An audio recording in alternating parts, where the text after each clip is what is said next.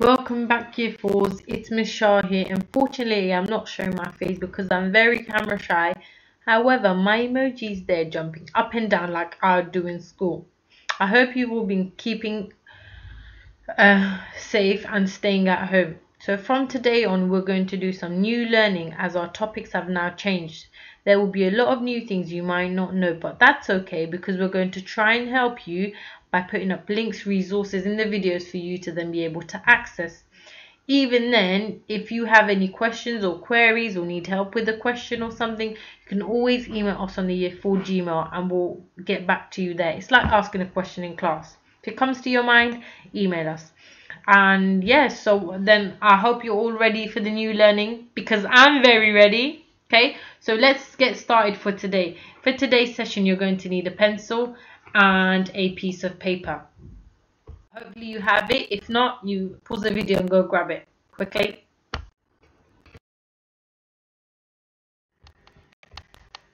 Okay, so the first thing you're going to do is you're going to write the date and the learning intention to understand what an expanded noun phrase is right at the top of your paper, just like you do in your English books.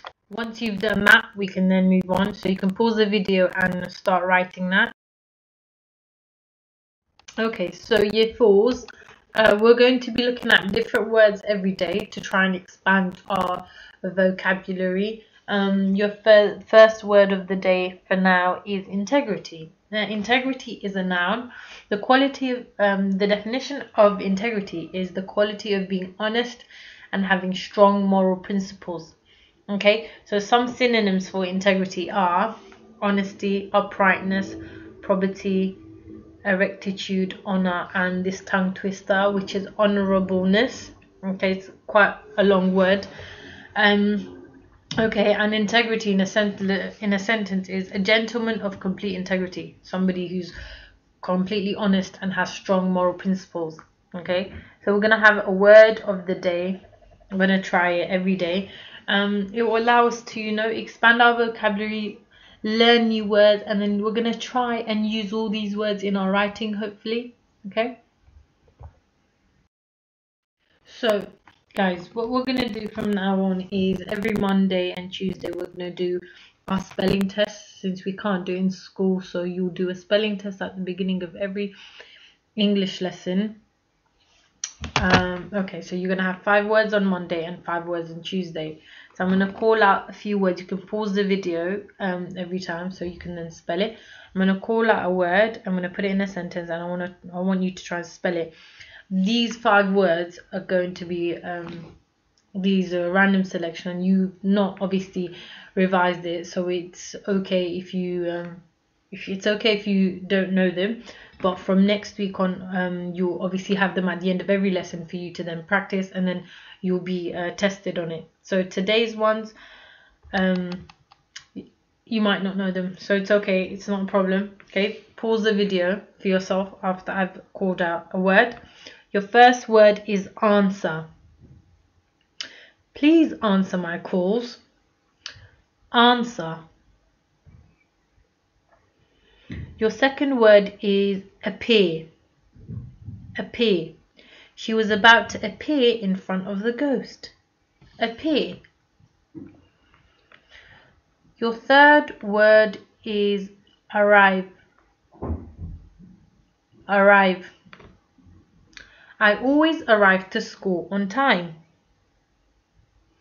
Your fourth word is believe. Believe.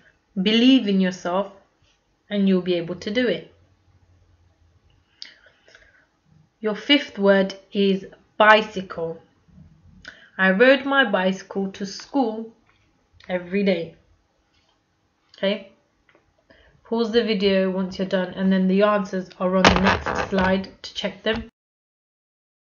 So here are the answers. Check if you have gotten correct and you know count keep a record of how many you get correct every time. If you get less than three you should do 10 star jumps. So let's start with our learning for today. Um, what is an expanded noun phrase? Okay so an expanded noun phrase gives much more detail than a simple noun phrase. An expanded noun phrase are phrases that tell you more about a noun. A noun phrase would add in an adjective to become an expanded noun phrase.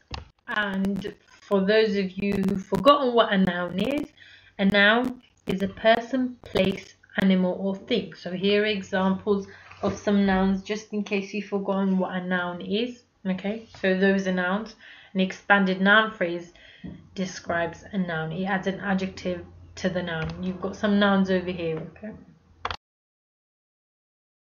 So let's have a look at how you can expand a noun phrase. So we've got a noun phrase over here, a house, okay? And for you to expand this noun phrase, you need to add another noun to modify it. So a house, that's the noun phrase. And we've added a country house. We've added another noun to the noun phrase. So we've got a and then two nouns, a country house. Now to extend, to make this sentence even better, we add an adjective to the nouns. Okay, so a derelict old country house. Now we've got, we've added two adjectives to the noun phrase. Okay, and now what we can do is expand it even further by adding a prepositional phrase to give extra details.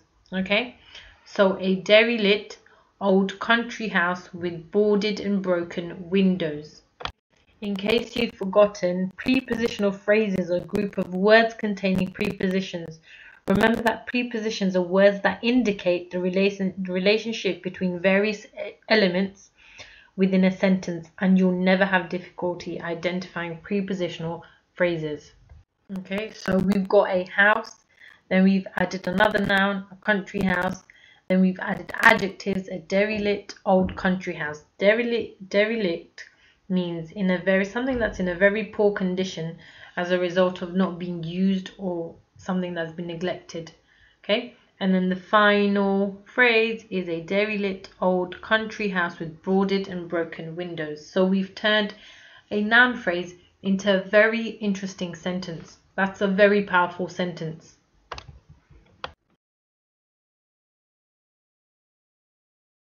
Let's have another example. Now what I want you to do is try and expand this noun phrase. Okay, first I want you to add another noun, then you need to add some adjectives, and then you need to add a prepositional phrase. Okay, I want you to pause the video and see how you can do this sentence, this noun phrase, and then I'll go through expanding it for you. Off you go, pause the video, and then have a go.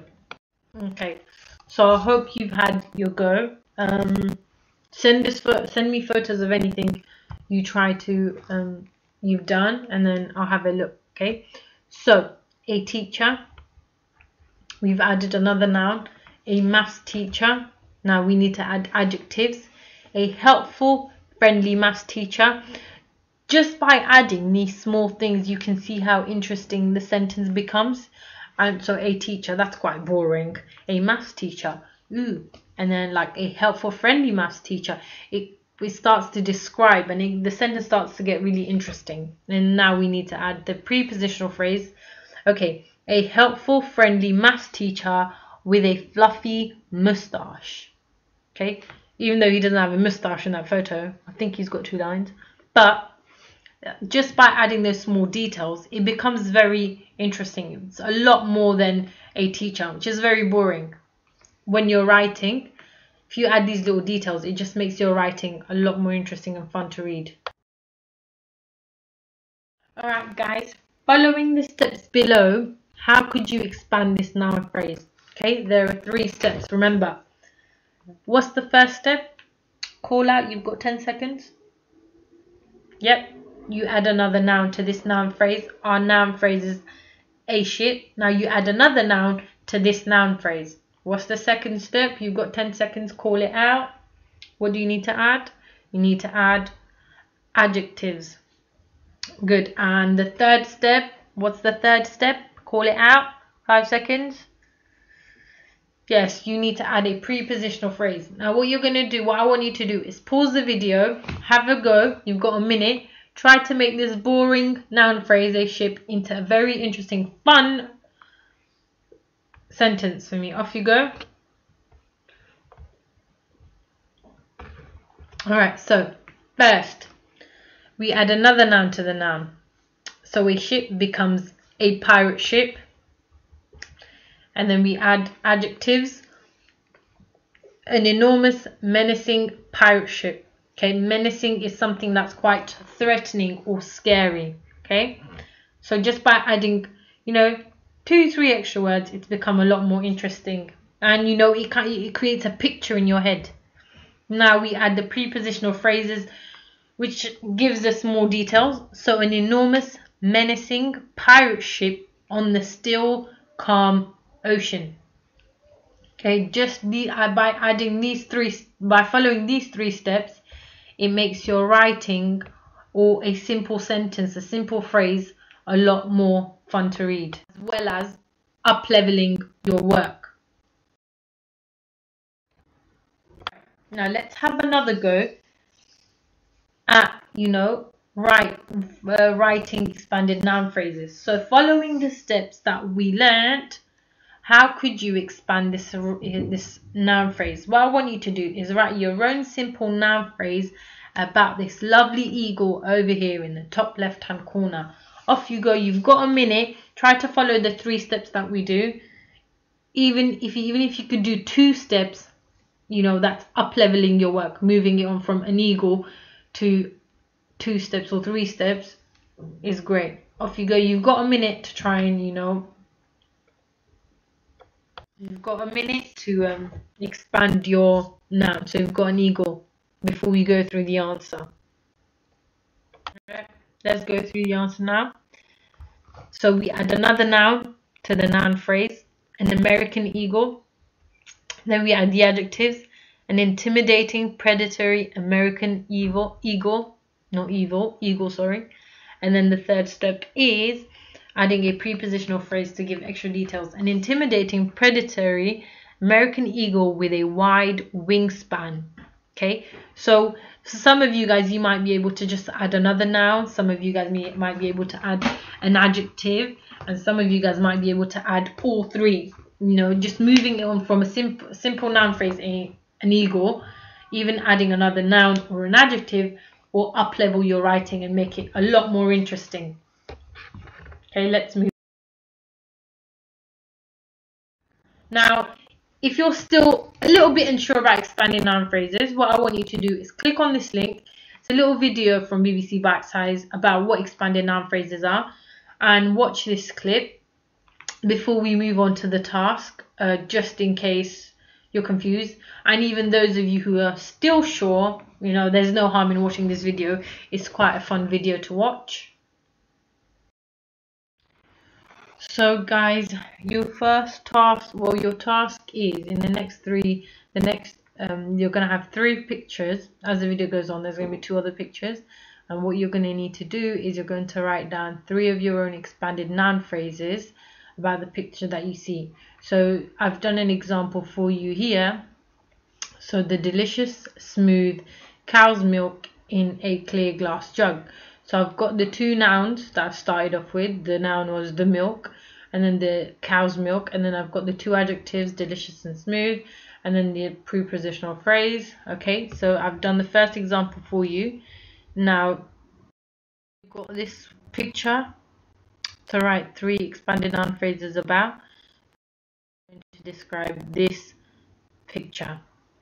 Um, what I want you to do is take around five minutes for each photo so you've got 15 minutes. Uh, come up with as many as you can. Try three but you know if you can do more um, that'd be great. And here is your spelling list for tomorrow's spelling test. So you've got accident accidentally actual address and although.